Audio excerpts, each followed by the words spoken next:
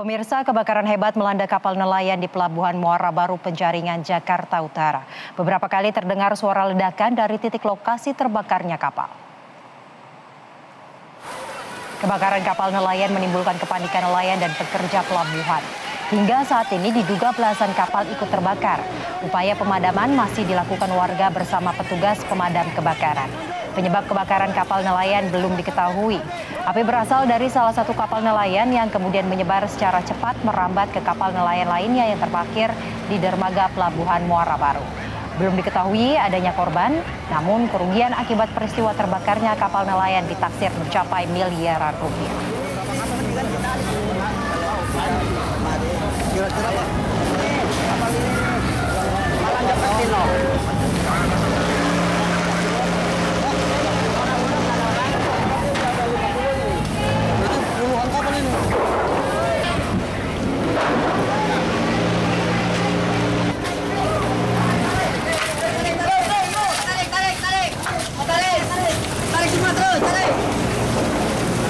Kapal ini Suasana ledakan berapa kali? Tarik, ledakan.